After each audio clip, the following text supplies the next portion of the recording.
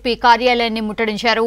తాండూరు వినాయక నిమజ్జన శోభాయాత్రలో యాలల ఏఎస్ఐ అరవింద్ మహిళలపై అసభ్యకరంగా మాట్లాడారంటూ మండిపడ్డారు. ఏఎస్ఐ ప్రవర్తనను ఖండిస్తూ ఇంద్రమ్మ కాలనీ వాసులు డీఎస్పీ కార్యాలయాన్ని ముట్టడించి ధర్నా చేశారు. ఏఎస్ఐను వెంటనే సస్పెండ్ చేయాలని డిమాండ్ చేశారు.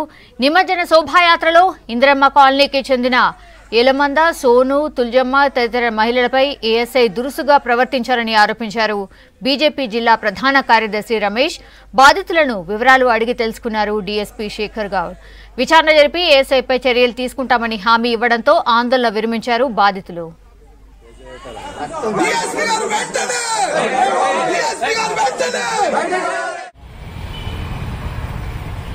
అడగండి సార్ అన్న కూడా ఆగకుండా కొట్టుడే కొట్టినాడు కొట్టినాక ఒక కానిస్టేబుల్ ఆ సారానికి వచ్చిన కానిస్టేబుల్ ఒక రూములకు దొబ్బేసి అతను కొట్టి స్పెషల్ కొట్టినా కూడా ఎవరు?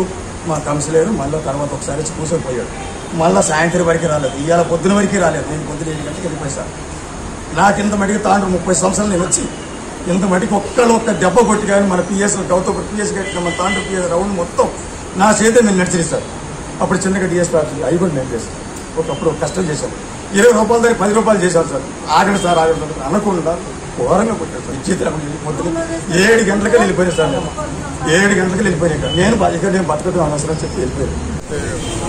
నిమజ్జనం చేసినాము ఎక్కడ కూడా ఎంత తాగున్నా ఓపికతోనే పంపించడం అనేది జరిగింది తప్ప చేసుకోవడం జరగలేదు అది చేసుకోవడం మావాడు ఏమున్నా నచ్చి చెప్పాల్సిందే తప్ప చేసుకోవడం అనేది జరగదు.